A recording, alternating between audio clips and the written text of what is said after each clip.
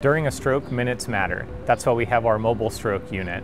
I'm Dr. Blake Buletko, a vascular neurologist at Cleveland Clinic, and I'll be giving you a tour of our mobile stroke unit. Let's go inside. One of the first things that we really want to do after we do an initial assessment, draw some labs and get some IVs going, is uh, run them through our CT scanner.